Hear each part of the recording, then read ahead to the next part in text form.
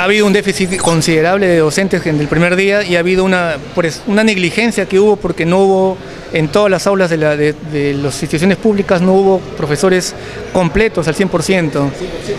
Eh, un 30% de estudiantes no tuvieron docentes el año pasado por falta de programación. La historia se ha repetido todos los años, pero esta vez espera que sea diferente. A pocos días del inicio de clases, la Defensoría del Pueblo anuncia fiscalizar el correcto desarrollo de clases en los colegios estatales textos educativos que ha mandado el Ministerio de Educación, tanto de matemática como comunicación, estén en las aulas y que la infraestructura sea mínima ¿no? en las instituciones educativas, por lo menos que los servicios higiénicos estén operativos. Aunque las clases en parte no solo no podrían iniciar por falta de plazas docentes, sino también por desinterés e irresponsabilidad de directores y profesores. Pero habrá sanciones, así que ya están advertidos que haya un sistema de adecuado de la dirección de este, control de sus, de sus docentes, porque si esto no sucede es culpa del director.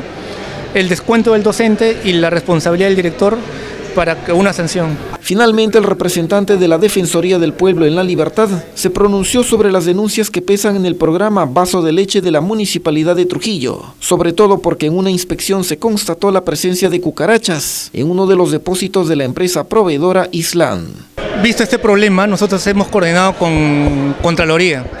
Y entonces tenemos conocimiento que ya este, OSI ha intervenido ante este problema, así que cuando este procedimiento se inicia, nosotros eh, tenemos que eh, salir para no hacer dos investigaciones paralelas.